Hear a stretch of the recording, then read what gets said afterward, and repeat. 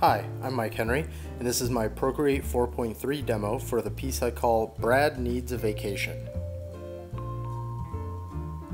So this piece was done at the last Sketch Bomb. Uh, as I've been saying in previous videos, the big challenge I've been trying to put myself under when I do some of these is to do a fully uh, colored rendered piece uh, in a limited amount of time. And since Sketch Bomb has an automatic time limit on it, uh, it's kind of a fun opportunity to do so. Um, also, there's always three themes at Sketchbomb, and at the, the way we run it now in Barcelona, which is different than the way we used to run it back in San Francisco, is you can do one of the themes, all of the themes, uh, just a couple. It doesn't matter. It's, it's not about doing all of them in a set, um, sort of like segmented amount of time we say, yeah, you can do uh, one or all or two in the whole three hours that the thing is on for. So uh, I use that opportunity to just try and do one and try to um, get it fully colored. And there's some other members like Susie Bouillon who she every time tries to take all three uh, themes and mash them into one. And I always think that that's like the coolest thing ever. And she does a better job, a way better job of it than I do. Um, so when I was in the middle of doing this, I decided that I was just going to focus on one of the themes, but then I kind of found like some excuses to jam the other two in. So this technically has all the themes in it, but it definitely wasn't designed that way, not as well as like what Susie does. Um, but anyways, the themes for this day was Alien, um, responsibility, and summer. Uh, it was just starting to get hot in Barcelona, and so it was kind of fun to do a summer themed one. So you can see what I did at the beginning was just focus on the alien side of it, uh, but then I threw in like the cigarette, and I was like, oh, maybe I can hint at responsibility, like he's totally stressed out, uh, which so I guess you could say this speaks more to stress than responsibility, but sort of you know one one begets the other. Um, so he and then I and then I have him sweating like he's stressed out and it's hot out and he's an alien. So as you can see, the the thinnest connection um, between the three, but I, I I'm gonna call it a win, even though it's not the the most thorough combination of all of them. So I started with him as red. I didn't do this for any process reason since you saw that he ends up green. I didn't do this because it was like, oh, it's easier to paint it red and then convert it. I just wanted him to be red in the beginning, and then uh, I didn't really like the way that was going. I do think that he looks cool red, but I think that just to really get to, to lean into the alien thing, he start he slowly started becoming other colors, and I was trying to balance all of these colors uh, fairly uh, quickly because this was all done, like I said, in a time limit. So I didn't have time to really agonize over everything. Uh, similar to other pieces that you've seen, uh, where I tried to do them in a in a small amount of time, I did them in in that time, and then I gave it like another 15 minutes or so of uh, tweaking and cleaning up. I don't know if I can remember when that was, when that like change happens, when like it stops and then I do a little bit cleanup later, but we'll see if we can identify that as we watch. Uh, you can also see here that we've got the his like eyelids trying to add a little bit more emotion there, but I actually just kind of felt like they weren't working. I think that was more just limited by my ability to make them work, especially because I was thinking quick and trying to generate this quickly. So that those eventually go away. I just wasn't really selling them in the way that I wanted to, so I just went back and double checked my uh, images and I actually saved out stages of this, so I will be able to show sort of the stage that it was at when I wrapped it up for Sketchbomb and then the 15 minutes I spent later that day. Uh, since I don't spend the entire time uh, drawing or painting at Sketchbomb and it's a three hour event, I would say that this guy took roughly two and a half, two and a quarter to two and a half hours, and then an extra 15 minutes on top of that since people are always asking how long things take. So you can see what we've got here. Uh, we've got basically like every color possible. And I think that that is still where we end up with it, where there's lots of colors. And I think that's also really what I was going for since the character is supposed to be over the top and loud and goofy and he's an alien. And I wanted to give him this like 80s vibe to the way he was dressed and everything. So I knew that he was going to be really colorful. But the color balance that we're seeing here just doesn't feel super great. I think that the hair color with the skin color works well, and I think that even though green complements red, it's just that eye color is not really working for me, probably because it's housed in the yellow, and there's something about that that's just not exactly working. So you'll see that these colors are going to change dramatically as time goes on.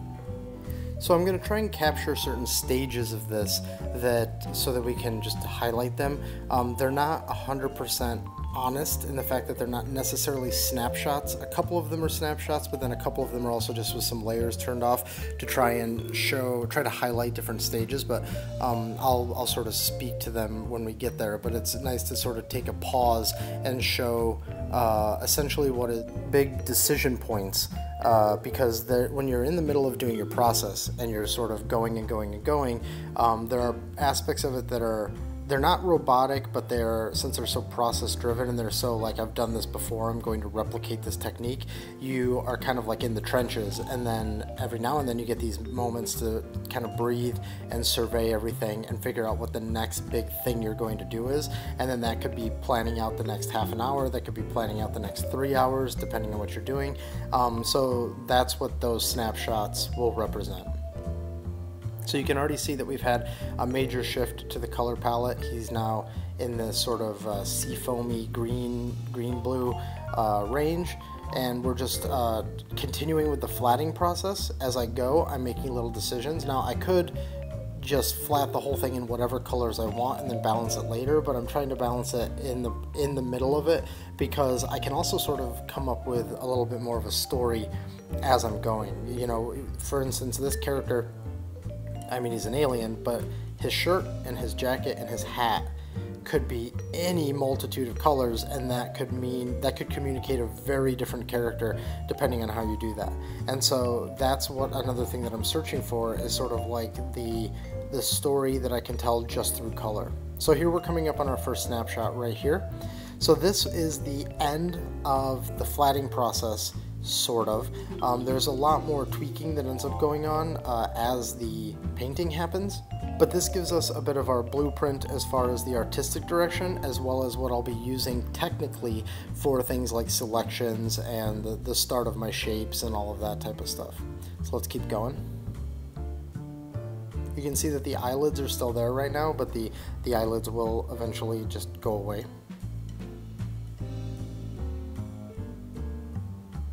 Now I'm starting the to actually put my first shadow layer down. You can see that on the cigarette and in the jacket now.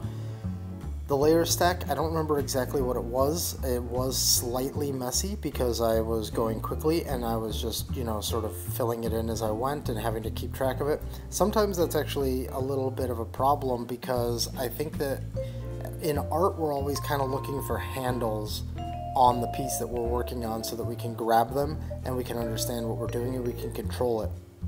I think that's the entire reason uh, why you see an artist just start putting some sort of bullshit lines on the paper, even if the drawing ends up not going in that direction at all. It's just this this ability to sort of break the seal and start doing something, and then working with that. It's like figuring out your the spatial relations of like the canvas and what kind of shapes you're playing with and all that kind of stuff. I think the same thing happens when you do something like this and you get to the shadow layer because you want to lay the shadow on sort of like the biggest shape so that you can start establishing uh, a majority of the lighting for it. However, so that for in this case that would be like his his skin. Um, however, in this one, because of the way the layers are set up, it's like the cigarette and the jacket and the shirt, which are very small elements on the overall piece. In fact, that part of lighter purple hair, there you go, just got shaded in right there. I mean, that's a very insignificant piece, and it's like the fourth or fifth uh, level of the flats with the shadow layers that we're doing uh, to, to be addressed. So it just sort of shows that there are there is actually a reason to order your flats in certain ways if in fact you're looking for something like that that type of a handle to hold on to. Like I want to tackle a big chunk of this so that I understand the whole thing. But if you're going with like a method like I use, you are a little bit locked into the order that you put those layers in. It's not the biggest thing, it's not a, a big detriment, and it's actually really easy if you find that that's a problem for you. It's easy to prioritize the way you put your layers together. Um, but when you're moving really quickly and you're just trying to get something done, you don't always have that luxury. Now, for the shadow layers on this piece, um, they are done with a very desaturated brown. In fact, it might even be totally gray. I can't really remember. I was trying to go for quite a neutral lighting in the beginning, and then there's going to be a phase where I switch up the shadows all to be way more saturated because even though I liked the look of it, I wanted a little bit more of an atmosphere to the piece. So you'll see here I'm doing the sort of like direct light shadow layer um, and then I'm going to be doing the uh, the sort of ambient occlusion like form shadow layer and they're both going to be really desaturated and neutral and I and I think it looks pretty neat but it doesn't ultimately get me like to the part where I'm like really excited about the piece. Uh, so you'll see much later we end up adjusting that um, it might go without saying, but you know, every video is somebody's first video. Uh, this is done, as the title said, in Procreate, and the brush that I'm using for the entirety of this is the turpentine brush, uh, which I believe is in the painting section of the brushes. Uh, if you have never watched one of my videos before, I try to. In fact, I think with Procreate I 100% use brushes that are in the app. I might tweak them a little bit here or there because I want them to do something slightly different. Uh, but I try to use everything that's just that just comes with it. Procreate is very cool because you can put in lots of really cool brushes and you can figure all that stuff out like you do in Photoshop, and it's really nice and versatile. But for me, I just always usually use whatever is stock in a program.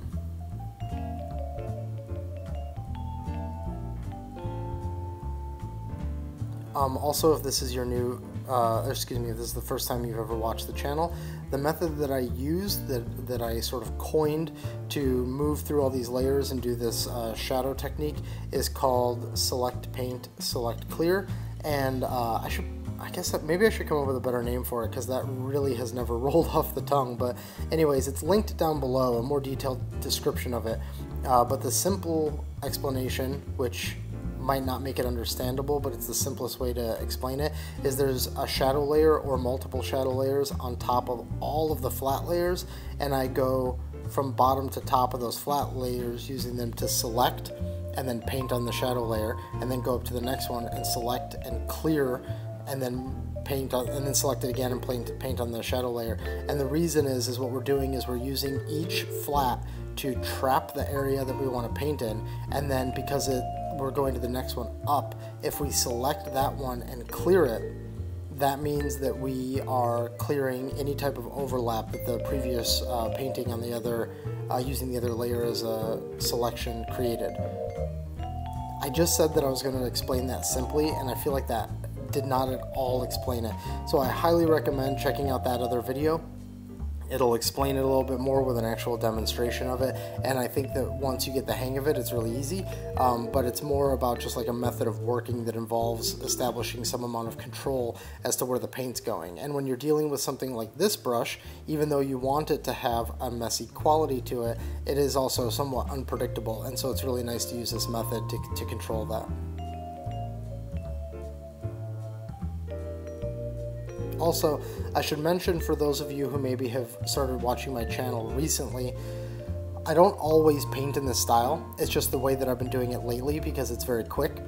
It's a modification of how I've painted in the past um, when I've done like a, a, really cartoony thing where I've got like just really clean flats, maybe even line work, and I'm putting a shadow layer on it. Uh, I use the same method when I'm doing that as well, and then I use that method basically whenever I'm using like a unified shadow layer. I use that method. Uh, but if I were doing it in a more color pick way, uh, where like let's say the skin has four different layers and each one of those layers is a different color and I'm building up the shadows and the midtones and the highlights uh, I don't use select paint select clear in that method because I don't have a unified shadow layer or a unified lighting layer. I have several for each component of the piece. So if you go back and you look at a piece of mine like um, Shockwave Alberto. It might be Shocking Alberto. It's a character from Giant Robo, but if you go through my channel or search for Alberto, I think you'll find it. Um, and uh, there's there's plenty of other ones too, but that one I think is just really clearly that type of a piece.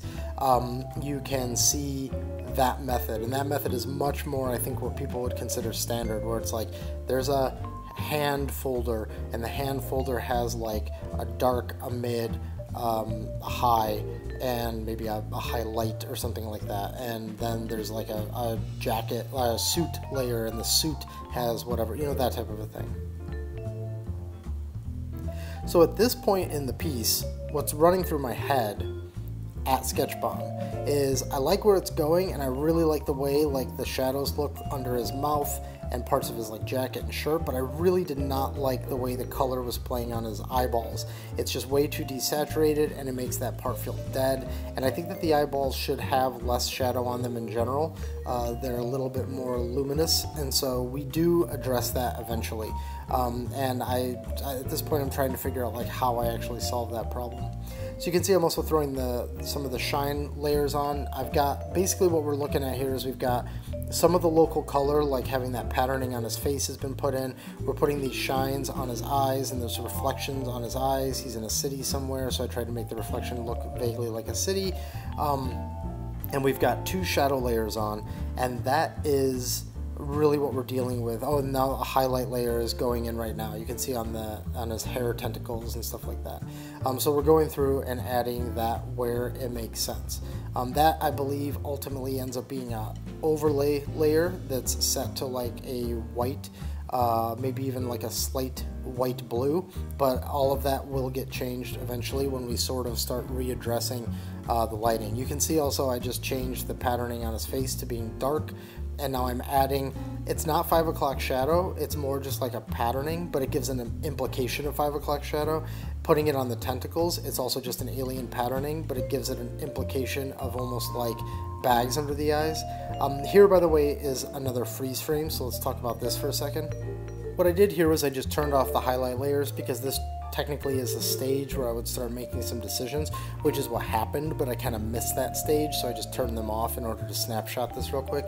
This is where I'm looking at some flats and I'm trying to decide whether or not this is the color scheme. I'm taking stock of the different materials I have and trying to think about how I want to represent them. That's why I mentioned things like the how luminous the eyes could be, um, as well as trying to think about like how glossy the eyes are. Are the teeth going to be shiny or are they more dull? Um, since he's a little slack jawed, maybe he's been mouth breathing a bunch and his mouth, his teeth aren't wet. Um, and then his his hair, since it's these weird tentacle things, material. So that's kind of what I'm processing at this point. So we'll keep it going now. We're going to add things like rim lights on certain things, reflective light on certain things. Uh, the eyes, obviously, we want to be more reflectant than the um, skin or the tentacles of the hair. Uh, but then there are nice opportunities like where the light theoretically would kind of bounce off the skin. We could illuminate that underside of that hat a little bit. So just trying to find little opportunities here or there to represent the materials um, how I want them to be. Um, so what you just saw there was me taking all the layers that are the flats merging them into one layer and then making it black. I then set that on top of everything and lowered the opacity of it and started to like erase away so that we could um, get a little bit of a uh, shadowing, like a vignetting on his actual body and, and turn his form just a little bit more by adding that there. Now we have a rim light coming off from the side.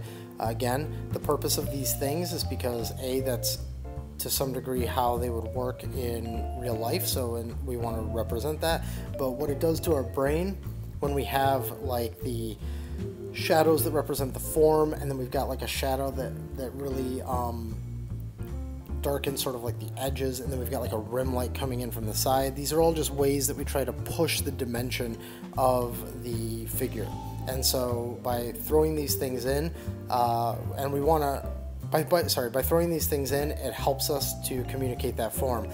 But there are different ways that we can do that. We can do it super artificially like it looks like right here where you've just got like this big thick rim light coming in from nowhere and there's no indication of that light anywhere else. You could also make it look like it's a little bit more part of the actual environment.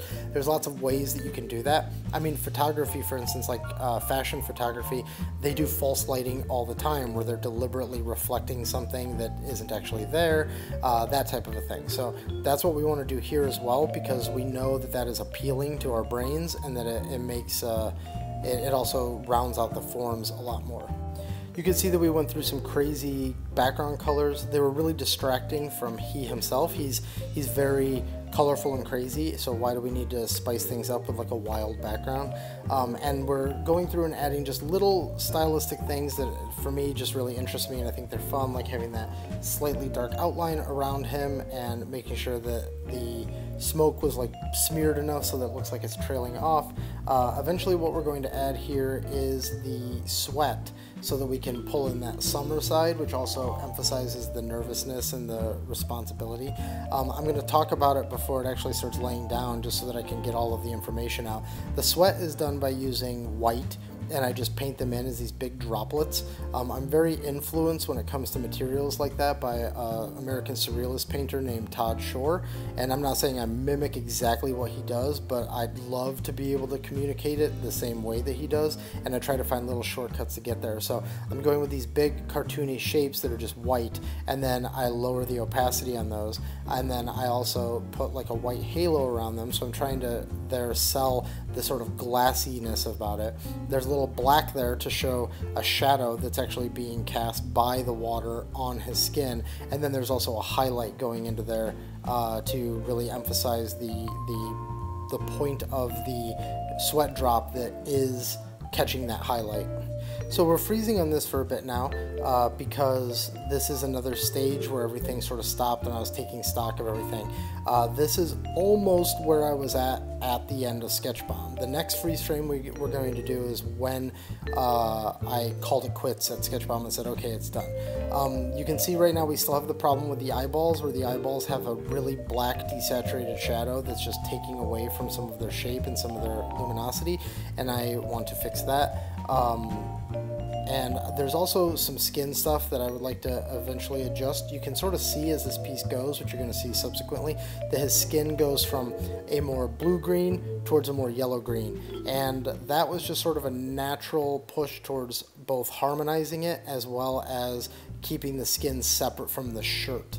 Because uh, I want that to definitely feel uh, like they're not related. Like he's an alien who put on clothes that he likes and that he's not necessarily coordinating that like with his skin because he's he's just a dude who likes to wear those clothes you know what i mean? So now we'll continue. The last part here is just some really fast tweaks. We're going to see some of the colors change like I just did. We're going to see some lighting and little tw uh, tweaks to like some of the highlights, but we're going to mostly see the shadows get a little more saturated and we're going to see me erase away some of the shadows on the eyeballs so that I can try and lighten that entire thing. You can see right now already by changing those uh, shadows to be a little bit more saturated and a little lighter in value, we've really fixed a lot of what's going on with those eyes there and the skin and stuff is unaffected or positively affected with those adjustments as well. We freeze now on this because this is where I was at at the end of Sketch Bomb. This is the one that I, I called done at the time, but I knew that it wasn't ultimately going to be. I was probably going to be tweaking it further. Um, and I'm happy with this, but I knew with a few more minutes of just sort of reflection and additional tweaking, I could get further. So here we are now addressing it again. So I've turned off a bunch of the lighting layers and I'm just getting down to sort of readjusting some of the colors and getting this where I want it to be. Also cleaning up things like the, look how the pupils are all different sizes and they're not necessarily laid in there really well. Um, and so there's also like the lines on the tentacles that his eyes are connected to that don't really fit the form very well. So I go back in and I just sort of clean those up a little bit as well. Little tweaks like that um, across the board, I think take it to um, not necessarily like a whole new level, that's pretty dramatic, but more like just a place where I'm happier with it. I scrubbed back and forth a bunch for the last like 5 seconds or 10 seconds of video trying to find all the little changes and make sure I was zooming in on them. And honestly, I couldn't find all of them. So let's just say that if you want to see them all, you can view this at 1080p and probably try to spot them all and, and you'll probably see something meaningful there.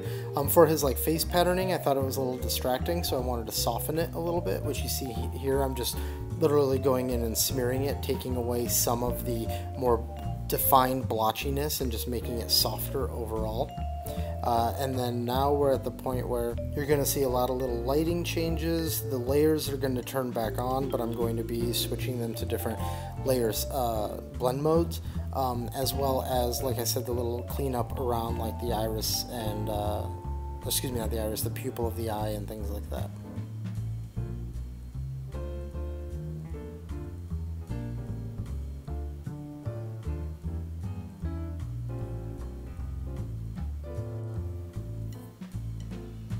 So you can see there the, the lighting layer is turning back on, changing to different modes.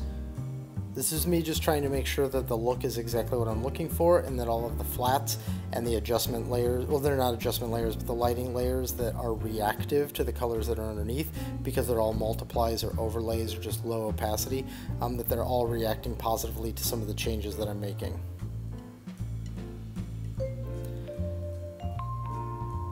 Here's some uh, iris cleanup happening now. Or pupil, I don't know why I keep saying iris. Uh, turning on some of these layers again, starting to see how they all play together.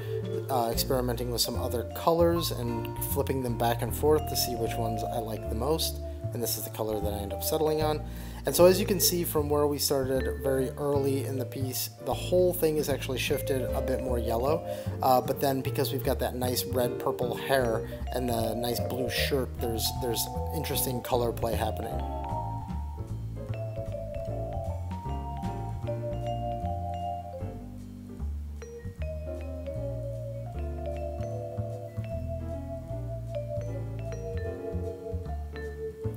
Turning everything off and on again, making sure all my last bits of layers are adjusted to the right color, and now we reach the end. This is the final piece, and now I know that towards the end there, it was a lot of just sort of like, what the fuck is even happening in this piece, because it's all just really uh, minor, it seems, uh, but really it's just me going through and tweaking a bunch of small elements I think ultimately will add up because even though most people view these images on like Instagram, I view them on my iPad and when people see them in person, they see them on the iPad and they're much larger, you see much more detail, and I want to make sure that it holds up at larger sizes. So let's go through the major steps again just because it's kind of cool to see those transitions. So here's the rough sketch. This is where we started at, where we made the decision that it seemed like it would be interesting enough to keep going, uh, but there is some silhouette problems like with that top right eye. Here we fixed that silhouette problem. We started laying in all the, or we have laid in all the flats and started deciding on what are the actual colors that this guy is going to be. Here we've got our first shadow layers laid in, so we're starting to get a lighting scheme and we're starting to identify what colors we may need to change so that it all plays together more nicely. Here the background's been put in, more lighting, the sweat, reflective materials, that type of stuff. Here we're getting closer to our final color scheme. We've solved some of our shadow problems and everything is getting a little bit closer to a cool look. And then here's the final version with the right colors. Everything feels like it's playing nicely together and we've got all the materials and details tweaked and it feels pretty good. And I'll do a slower pan so that you guys can see the details while I thank everybody for watching. Thank you for watching. If you enjoy this material, please subscribe to the channel. Please like Actually, please comment because I like having conversations um, on all the videos. It's just really fun for me to interact with people who have uh, seen this stuff because uh, it's it's just very uh, rewarding. It's actually the main reason I do it because I can tell you this channel's not making me rich. This is all just for fun.